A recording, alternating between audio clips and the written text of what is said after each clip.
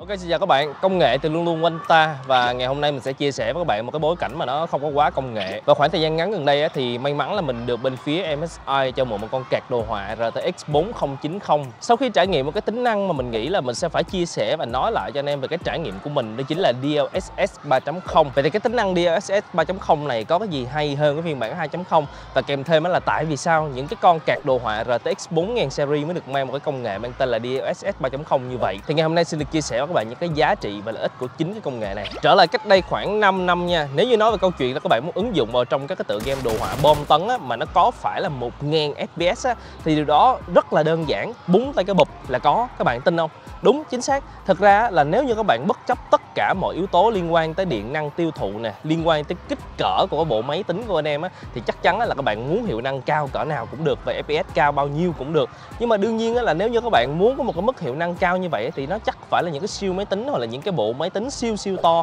Chứ đừng nói đến cái chuyện là các bạn muốn đặt một cái case máy tính lên trên bàn rồi thả ở trong đó một số những cái figure anime. Điều đó là không thể. Vậy nên đó là câu chuyện ở đây là các nhà sản xuất phải làm ra được một cái phần cứng làm sao để mà nó vừa trung hòa được cái mức điện năng tiêu thụ nè, cái số tiền mà người dùng phải bỏ ra nè, nhiệt lượng tỏa ra của chính cái phần cứng đó, nhưng nó vẫn phải đảm bảo cho là một cái hiệu năng rất cao. Thì thành ra là chính Nvidia, một trong những công ty công nghệ hàng đầu thế giới về những cái trí tuệ thông minh nhân tạo đã cho ra một cái công nghệ được gọi là DLSS để ứng dụng vào trong game dành cho game thủ. DLSS đến tới thời điểm hiện tại đã là phiên bản 3.0 tức là thế hệ thứ ba và nó có rất là nhiều những cái cải tiến liên quan tới cái hiệu năng trực tiếp. Nếu như mà so sánh giữa DLSS 3.0 và DLSS 2.0 thì rõ ràng là số FPS mà người dùng nhận được đã có thể gia tăng từ khoảng 20 lên tới 30% vào trong một số những cái tựa game. Vậy thì nó có cái gì để làm nên được cái giá trị đó? Xét về yếu tố phần cứng thì những con RTX 4000 series, mà cụ thể ở đây nó sẽ là con RTX 4090 đi, thì các bạn sẽ có tới tổng cộng là hơn 16.000 nhân nhân CUDA hay chính xác hơn phải gọi là shader core.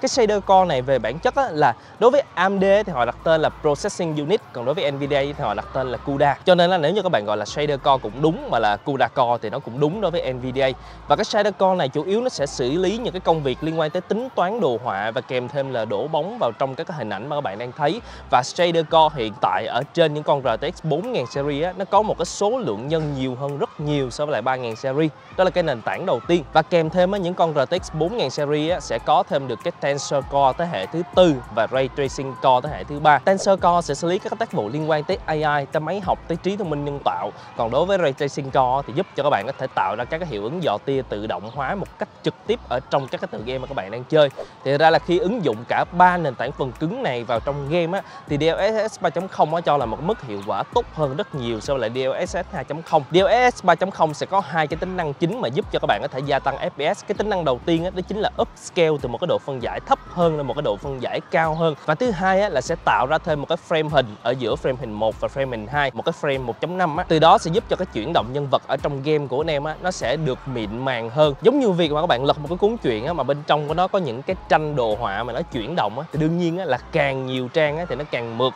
Thì thành ra là cái việc mà chúng ta gia tăng cái FPS á, thì rõ ràng là ai cũng biết nó sẽ giúp cho game của anh em nó được cảm giác là nhanh hơn nó mượt hơn. Và các cái nhân máy học của Nvidia á, ngoài cái chuyện á, là nó có thể dự đoán được các cái chuyển động của các cái vector đồ họa bên trong game. Mà còn có thêm một cái bộ phận cứng mang tên là Optical Flow Acceleration. Nó sẽ giúp cho các bạn có thể dự đoán được các cái chuyển động của nhân vật ở bên trong game và từ đó đưa ra những cái dự đoán chính xác nhất về việc là tạo ra thêm một cái khung hình phụ. Và ngoài ra Nvidia Reflex năm nay cũng có thêm một cái chức năng mới đó chính là giúp cho các bạn có thể đồng bộ giữa CPU và GPU một cách mượt mà hơn và tốt hơn nữa. Tức là nếu như ngày trước mà chưa có được một cái sự đồng bộ giữa CPU và GPU thì cái quá trình xử lý của nó sẽ là CPU nhận lệnh và đưa lệnh cho GPU thì bị mất đi một cái phần ở giữa là CPU sẽ phải ra lệnh cho GPU để vẽ ra những cái khung hình á thì nay á, khi mà GPU và CPU đã được đồng bộ với nhau á thì thậm chí là ở trong một số những cái tình huống mà CPU bị bottleneck tức là yếu hơn so với GPU hiện nay thì chính GPU cũng vẫn có thể ứng dụng vào các cái công nghệ này và giúp cho cái phần hiệu năng á, nó được gia tăng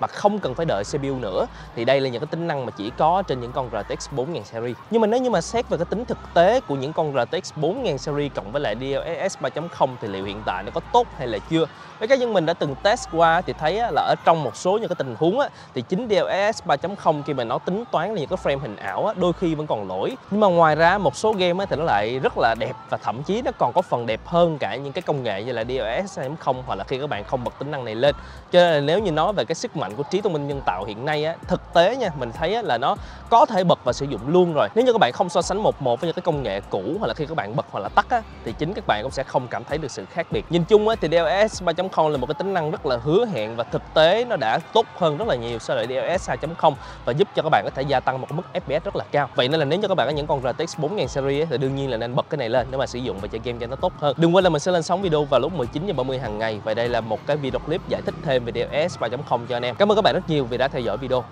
Ok ngắt